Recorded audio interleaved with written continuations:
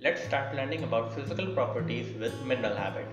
Minerals can grow in definite geometric forms, but the ideal conditions for their growth is rarely achieved in natural conditions, so they are usually deformed. This general shape of the mineral, which includes irregularities due to growth, is called habit. The disformed occurrences are described by the terms that relate to their overall appearance, which we shall study now. Let's start with terms that are used to describe individual crystals. The most common terms describing a single crystal habit are self-explanatory. Perfect crystals of pyrite are in cubic or pyritohedron form and diamond crystals are mostly octahedral in shape. Garnet always crystallizes in either rhombododecahedral or trapezohedron shape and beryl forms in hexagonal prism as shown in the slide. It is very rare to get the crystals in these perfect geometric shapes so mostly they include some deformations and then the habit may be described through the terms which we will see in the following slides. We call a crystal equant when it approximately has the same dimensions in all directions. Garnet shows this equant habit and so does spinel. Those equant crystals which have approximately square cross sections are called blocky. The halite crystals shown here clearly demonstrate blocky habit and crystals of galena also have this habit. A mineral with needle-like shape, as in sillimanite, is said to have acicular habit. The name is derived from the Latin word acicula, meaning needle. Crystals of gypsum and granite appear to be like plates or thick sheets stacked together, and hence their habit is called tabular or platy habit. Hair-like or thread-like crystals are said to have capillary or filiform habits. Serpentine and millerite crystals show this. When the individual crystals or grains are flattened or elongated in one direction, as in kyanite and stibnite, then the mineral has bladed habit. However, when elongated crystals have identical faces parallel to a common direction, then the habit is called columnar. Apatite shown here and beryl have columnar habit.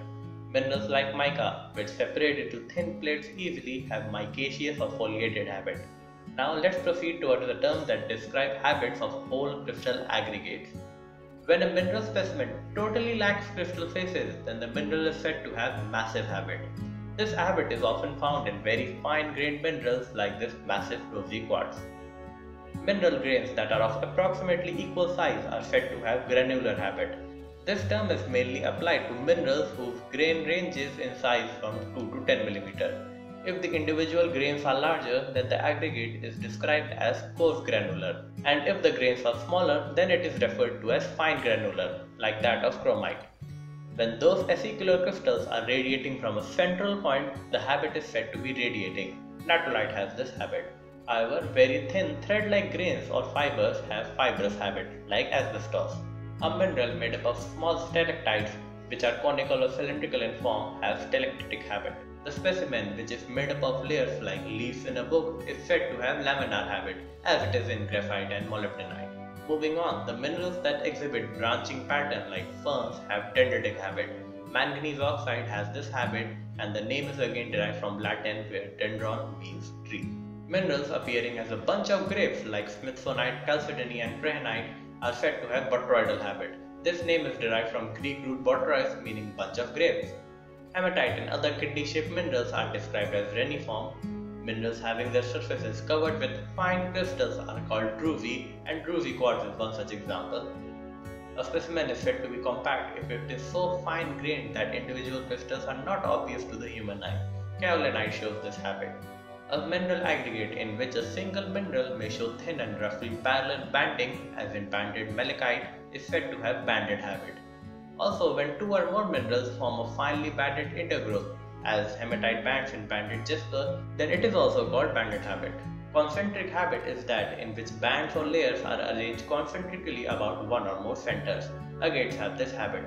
A rocky cavity lined with mineral matter but not completely filled is called a geode. They may be banded as in agate, which contains a central portion filled with euhedral or sharp crystals projecting into open space. Oolitic habit is of the minerals that are made up of oolites, which are small, round or ovate accretionary bodies. This appearance is common to some iron-rich specimens made up of hematite and are known as oolitic iron ore. Calcite may also be oolitic, which is shown here.